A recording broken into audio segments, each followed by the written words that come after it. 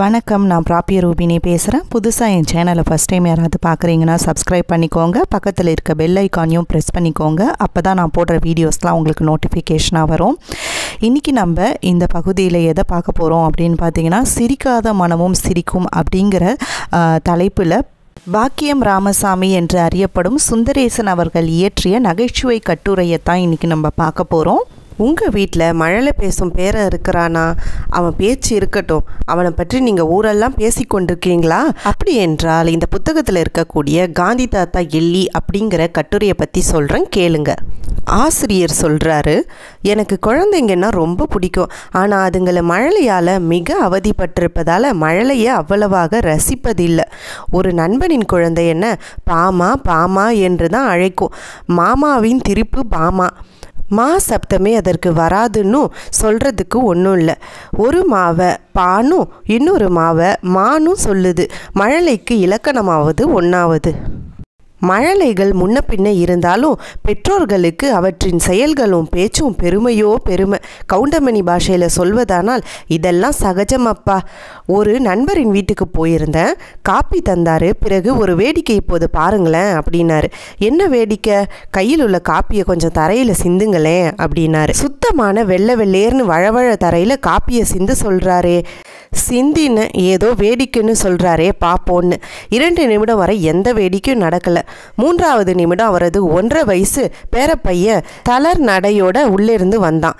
தரையில் சிந்தி இருந்த காப்பியை பார்த்து ஒரு நிமிஷம் நின்றான். பிறகு கிடுகிடுன்னு உள்ளே போய் வீடு துடைக்கும் துணியை எடுத்து வந்து தரையை துடைத்தான். அந்த குழந்தையோட அப்பா அவனை சமத்து குட்டி என்று கட்டி கொண்டார் அத்துடன் இல்லை எழுந்து அலமாரியை திறந்து ஒரு சாக்லேட்டும் எடுத்து தந்தார். பையன் சாக்லேட்டை வாயில் திணித்து கொண்டு உள்ளே ஓடிட்டான். நண்பர் பாராட்டுரையை வாசிக்க தொடங்கினார். பையன் மகா சுட்டி ஒரு சொட்டு தண்ணீரோ காப்பியோ தரையில் சிந்தி இருந்தால் போதும். உடனே துணியை கொண்டு வந்து தொடச்சிடுவான். பையன் புத்திசாலி என்றேன். அவரோ பெருமையுடன். அவன் புத்திசாலி என்பதை விட என்ன புத்திசாலி என்று சொல்லுங்கள் தண்ணி சிந்திருந்தா தொடக்கணும்ன்று அவனுக்கு ட்ரைனிங் கொடுத்ததே நான் தான் தொடச்சா ஒரு சாக்லேட் தருவேன். பையன் பழகிட்டான். நான் சிரித்து கொண்டேன். ஜோசியக்காரன் ஒரு சீட்டை கிளி எடுத்து தந்ததும் ஒரு நெல் அதுக்கு தருவான். அந்த மாதிரி அல்லவா இருக்கிறது என்று எண்ணிக்கொண்டேன். பல பெற்றோர்களுக்கும் தங்கள் மழலையின் பெருமை ஊர் பூரா கொடிகட்டி பறக்க வேண்டும் என்ற பேராசை. குழந்தைகளின் கெட்டிக்காரத்தனத்தை விட அதற்கு பயிற்சி கொடுத்த தங்கள் பெருமையே அவர்களுக்கு பெருசு. இன்னொரு கதையும் சொல்கிறாரு ஆசிரியர். ஹைஸ்கூலில் படித்து கொண்டிருந்த போது நானும் சில பையல்களும் சேலத்தில் தனி வீடு எடுத்துக்கொண்டு தங்கி படித்தோம். எங்கள் வீட்டுக்கு பக்கத்து வீட்டில் ஒரு ராயர் மாமாவின் குடும்பம் இருந்தது. ராயர் மாமிக்கு ஒன்றரை வயசில் ஒரு பேரன் இருந்தான். அவன் மீது மாமிக்கு மகா உயிர். இந்த ஒன்றரை வயசுலேயே அவன் உலக மகா அறிவாளியாக இருப்பதாக அவளுக்கு ஒரு பிரம்மை.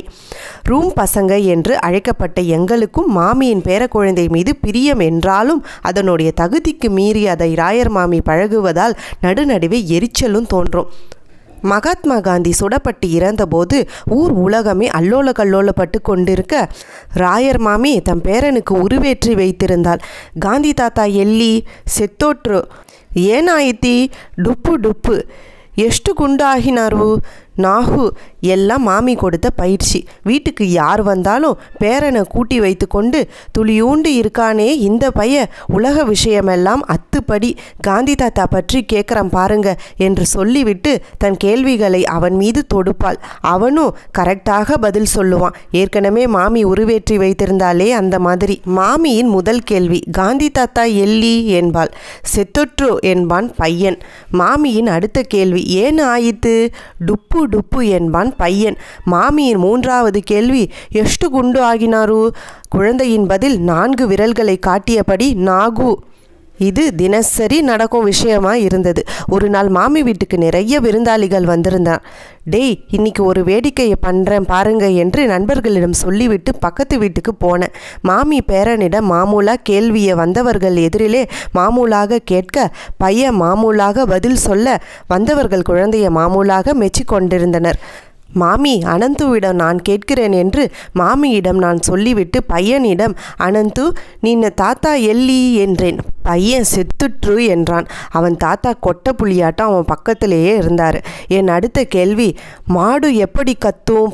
பையன் டுப்பு டுப்பு என்றான். என் மூன்றாவது கேள்வி உங்கள் பாட்டி எத்தனை படி சாதம் சாப்பிடுவா? பையன் நாலு விரலை காட்டி நாகு என்றான். மாமிக்கு என்னவோ மாதிரி ஆகிவிட்டது. பாவம் குழந்தைக்கு தூக்கம் வந்துவிட்டது என்று உள்ளே தூக்கி கொண்டு போயிட்டாங்க. மறுநாள் முதல் காந்தியை பற்றிய கேள்விகளை மாமி பேரனிடம் கேட்பதே இல்லை. இந்த கட்டுரை உங்கள் எல்லாரையும் கவர்ந்து புன்சிரிப்பு வர செய்திருக்கும் அப்படின்னு நம்புகிறேன் மேலும் இது போன்று நிறைய நகைச்சுவை கட்டுரையை தெரிந்து கொள்ள தொடர்ந்து என் சேனலை சப்ஸ்கிரைப் செய்து கொள்ளுங்கள். நன்றி வணக்கம். சென்ற பதிவுகளோட லிங்க்கெல்லாம் நான் டிஸ்கிரிப்ஷனில் தரேன். அது மட்டும் இல்லாத ஐ கமெண்ட்லேயும் பின் பண்ணுறேன் செக் பண்ணி பாருங்கள் சிரிக்காத மனமும் சிரிக்கும் அப்படிங்கிற பிளேலிஸ்ட்டும் நம்ம சேனலில் இருக்குது மறக்காமல் போய் செக் பண்ணி பாருங்கள்